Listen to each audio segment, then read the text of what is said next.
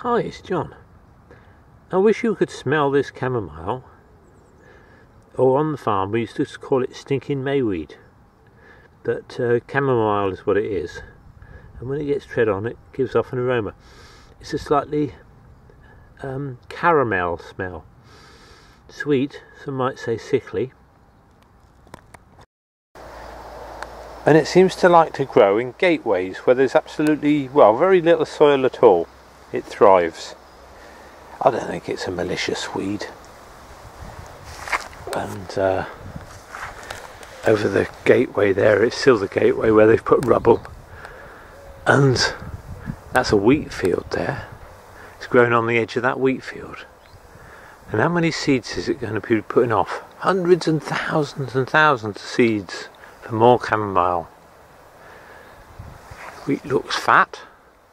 It's going a little bit black now. It goes black when it gets rained on. Well, not black, but dark brown.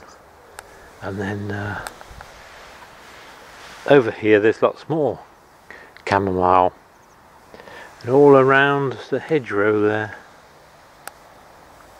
taking on a different hue where you see it sideways, sort of a slightly,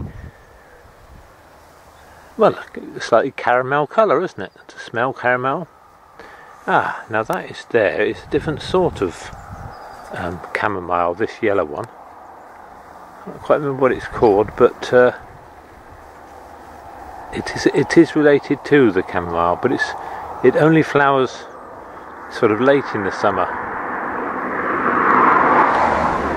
and it's very pretty. Hmm, but I do wish you could smell this chamomile. It really makes life worth living. Right, bye for now.